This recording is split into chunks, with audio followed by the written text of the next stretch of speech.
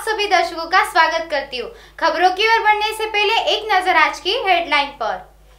हाथ में गंगा जल लेकर बोले कांग्रेस नेता, सरकार बनी तो 10 दिन में होगा किसान का कर्ज माफ़। ट्रेन से कटकर दो मादा बाघ बच्चों की हुई मौत। चंद्रपुर में हुई वारदात।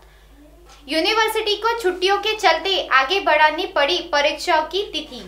अब खबरें विस्तार से। रायपुर किसानों के कर्ज माफ़ी के वादे का कांग्रेस ने एक बार फिर दोहराया है। कांग्रेस नेताओं ने हाथ में गंगा जल लेकर कहा कि यदि हमारी सरकार बनी है तो 10 दिन के भीतर किसानों का कर्ज माफ़ कर देंगे।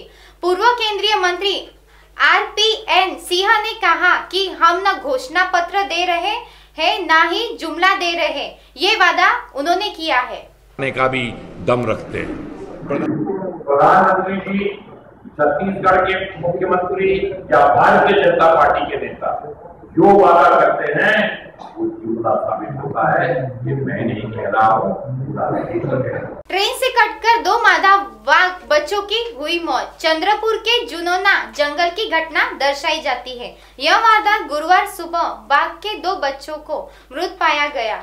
छह से सात महीने के बच्चे हैं, जो जंगल में विचरण करते हुए रेलवे लाइन के बीच आकर पटरी से गुजरते वक्त दोनों की कटकर मृत्यु हो गई। नागपुर यूनिवर्सिटी ने ईद ए मिलाद नबी की सरकारी छुट्टी के दिन, यानी 21 नवंबर को विविध विषयों की परीक्षा रखी थी, लेकिन छात्र संगठनों के विरोध के बाद यूनिवर्सिटी ने इस दिन की परीक्षाओं को स्थगित कर स्थिति में बदलाव किया है खबरों में आज के लिए इतना ही।